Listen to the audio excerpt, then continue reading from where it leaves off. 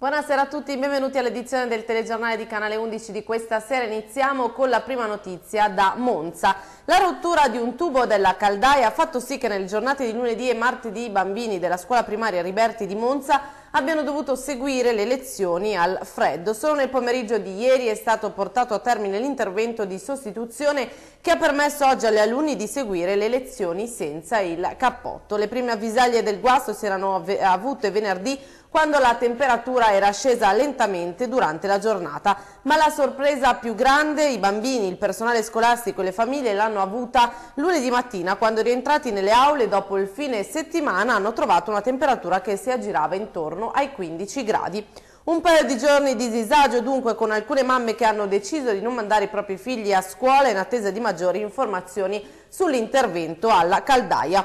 Il dirigente scolastico Graziano Sebastiano ha immediatamente avvertito gli uffici comunali competenti che si sono subito mossi per risolvere il problema nel miglior tempo possibile. Tutto oggi è tornato alla normalità.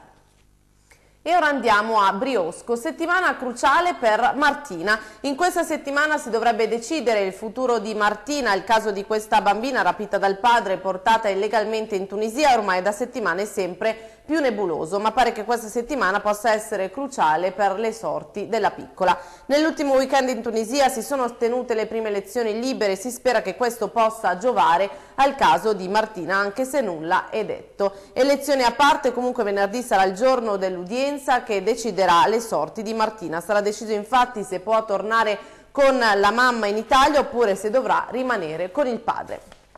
E ora spostiamoci a Limbiate, Cava Mascheroni sotto sequestro. Nel tardo pomeriggio di ieri, martedì 25 ottobre, la Cava Mascheroni di Via Cavour, che si trova sul confine tra i paesi di Limbiate e Senago, è stata messa sotto sequestro.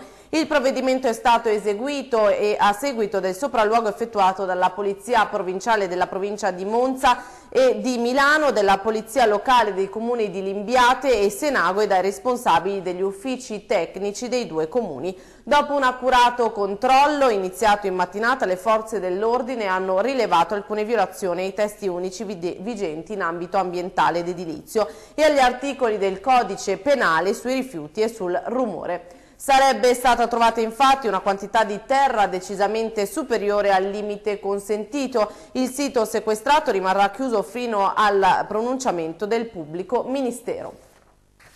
E spostiamoci ora a Giussano, lavori nei luoghi sacri. Interventi del Comune per mettere in sicurezza i luoghi sacri. Il Comune di Giussano ha deciso di intervenire nella frazione di Paina compiendo alcuni lavori per mettere in sicurezza i due luoghi sacri principali, ovvero le chiese e il cimitero. Dopo le numerose cadute da parte di signore anziane sul sagrato della chiesa è stato installato un corrimano che servirà per tenersi in equilibrio e salire e scendere le scale in tutta sicurezza. I corrimani sono stati posti in tutte le discese del sagrato della chiesa, per quanto riguarda invece il cimitero dovrebbero iniziare i lavori per la realizzazione di ingressi appositi per i disabili visto le attuali difficoltà che un disabile può avere nell'entrare nel Camposanto. Oltre a questo saranno, saranno fatti lavori per permettere ai disabili anche di accedere ai servizi igienici e agli altri servizi del cimitero. I lavori ai veletti saranno integrati poi con la realizzazione di una rete per lo smaltimento delle acque.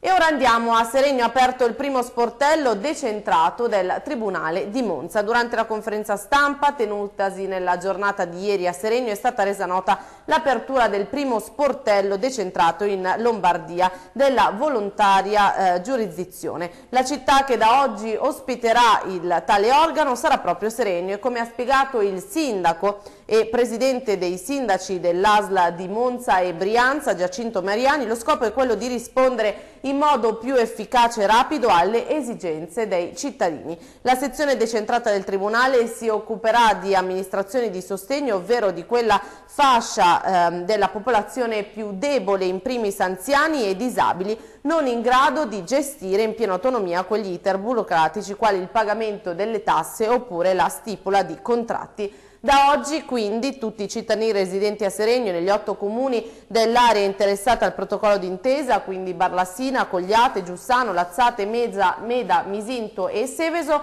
potranno avvalersi dei servizi di sostegno senza più doversi recare a Monza.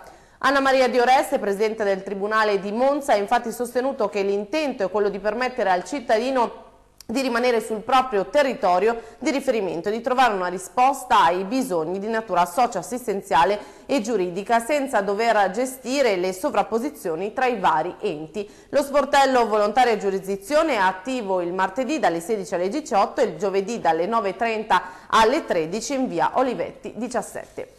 E concludiamo il telegiornale di questa sera ricordando quali sono le farmacie aperte nella provincia di Monza e della Brianza nel distretto di Brugherio sarà aperta la Comunale 10 in via Ramazzotti 36 a Monza, mentre nel distretto di Carate Brianza sarà aperta la farmacia Varisco a Carate Brianza in via eh, Mascherpa 14. Nel distretto di Cesano, Bovisio Masciago e Limbiate sarà aperta la farmacia, di, eh, la farmacia nuova a Limbiate in via Tolstoi 18 e nel distretto di Desio, Nova e Muggiò sarà aperta la farmacia Ravasi a Desio in Corso Italia 131, nel distretto di Lissone, Sovico e Maccherio sarà aperta la comunale 10 di Monza in via Ramazzotti 36, nel distretto di Meda, Lazzate e Seveso sarà aperta la farmacia nuova a ehm, Barrucana di Seveso in via Borghetto 7, nel distretto di Monza e Villa Santa sarà aperta la comunale 10 di Monza in via Ramazzotti 36, nel distretto di Seregno e Giussano sarà aperta la farmacia Sant'Agostino a Seregno in via Trabattoni 41.